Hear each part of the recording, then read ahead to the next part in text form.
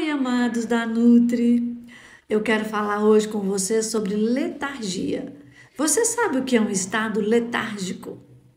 Então vou explicar de uma forma simples e fácil que você vai compreender. Sabe quando pela manhã a pessoa levanta, mas a mente continua ainda em sono profundo? O corpo está on, mas a mente está offline, em estado de suspensão? Então, essa falta de energia pela manhã a minha dica é você usar o guaraná em pó.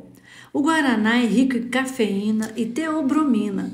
A teobromina é um vasodilatador, diurético, é um estimulante físico e mental, também presente no cacau e que vai ajudar muito a ter foco, concentração, energia para estudar, para trabalhar, para malhar, além de ser um termogênico. Não é sensacional? E nessas dosagens é seguro e já é um produto conhecido há muito tempo e usado há muito tempo. Então, o Guaraná em pó, utilize de uma a duas gramas.